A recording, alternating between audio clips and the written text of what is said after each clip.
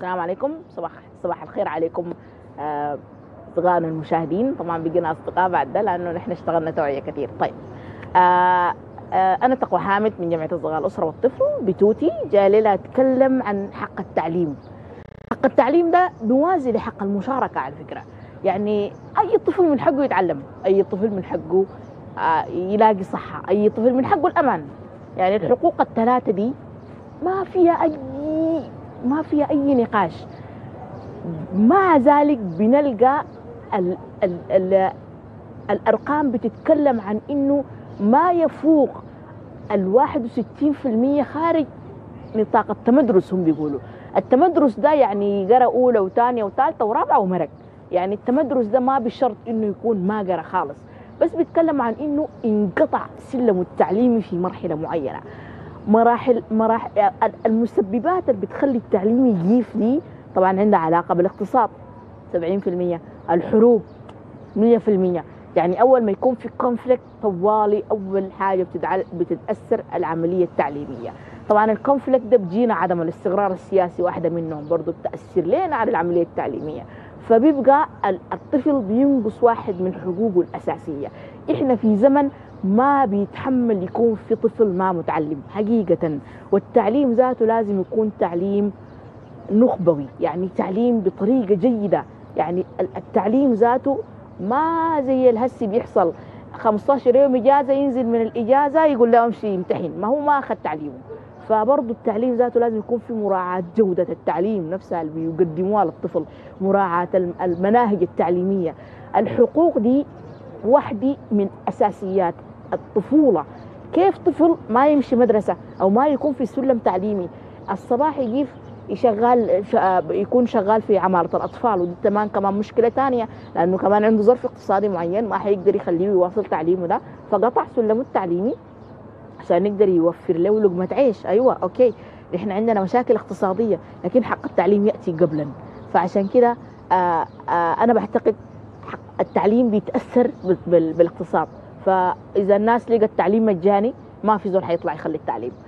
مجانية التعليم مسؤولية الدولة. التوفير الحماية في البيئة الآمنة للتعليم مسؤولية الدولة. الأستاذ المؤهل إنه يؤدي المقرر التعليمي بطريقة مفيدة للطفل ده يطلع بنولج كويسة مسؤولية الدولة.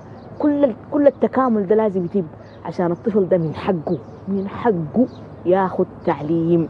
زي ما هم هسي بيطلعوا بيقولوا من حقنا الحرية إحنا بنطلع بنقول من حقهم التعليم. زي ما قادر يعبر عن رأيه بحرية لازم ياخذ تعليم ياخذ تعليمه وكمان شرط مجانية التعليم عشان الأسر.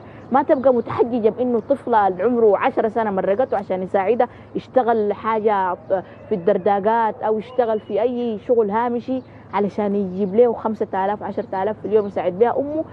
حرمته من التعليم لكن كمان ما في حل. في تحت منه هيتعلم هو الكبير خلاص ضاع عليه التعليم. فدي واحدة من المشاكل اللي بتلاقينا. فلما يكون ما في لما تكون العملية التعليميه في تعسر طوالي حيجينا حتجينا عمالة الأطفال. طوالي حيحصل تسرب مدرسي حتجينا عمالة الأطفال. الأستاذ ما كفاءة بيضرب من غير أسباب عقوبة مدرسية حيحصل تسرب من التعليم.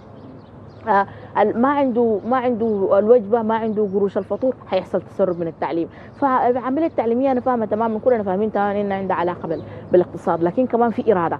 الإرادة السياسية إن ما وجدت بتوجد الإرادة المجتمعية ودي أحيانا بتكون أقوى لأنه المجتمع بيغير بيغير بيغير حكومات. لما يغير سلم تعليمي أو ياثر على على العملية التعليمية فعشان ما يحصل لنا تسرب وما تحصل عمالة الأطفال الهسي في الشوارع ديل يعني عمالة الأطفال دي بقت هيدك ذاته يعني 70% من الأطفال متسربين من التعليم. تلقاهم في, في الاسطبات آه، بيشحدوا بيمارسوا التسول. لو كان مش التعليم كان أحسن له فالتسول ده ذاته بوديه للمخدرات. برضه كله طبعا منفذ على بعض زي ما قالوا كله منفذ على بعض. لما يحصل تسرب في التعليم معناته طوالي مش الشارع. مش الشارع معناته طوالي بقى في عمالة أطفال طوالي بقت في سهولة في إنه يتناول حاجات المخدر دي. ما بعرف تقريبا زي السيليسيون أو كده. دي كلها حاجات بتأثر على الطفل نفسه في بنيته في في المجتمع بتأثر. على ما بتطلع علينا زول سوي في المجتمع. المجتمع ده حيطلع له واحد يمكن يكون مجرم ذاته. فالعملية التعليمية لازم تخش في الأولوية زي الأمن في الأولوية العملية التعليمية المفروض تجي قبل الأمن لأنه أمن وأمان الأمن وأمان الأمم بالتعليم. يعني التعليم ده بيحمي أي شيء بيديك مكون بيديك مجتمع متسامح مع مع بعضه بيديك مجتمع متكافئ بيديك مجتمع آه، حقيقة يساوي المجتمعات يعني. فالتكامل في العملية التعليمية عشان ننتج نحن مجتمع صالح للدنيا دي لازم يكون كل زول يؤدي دوره بالطريقة المطلوبة عشان نطلع بعملية تعليمية ناجحة. ودي النصيحة ركزوا في إنه الأولاد يمشوا مدرستهم والبنات يمشوا مدرستهم. الأم ممكن تطلع هي تشتغل ممكن يطلع الأكبر منه يشتغل يمشي المدرسة شوية ويشتغل في الإجازة يوفروا مبالغ معينة. والحكومة تساعدنا مجانية التعليم مجانية الكتاب المدرسي ونأمل نأمل بكده لحد ما نتلاقى في فقرة جديدة آه، آه، آه، توعوية جديدة وأبقوا طيبين إن شاء الله.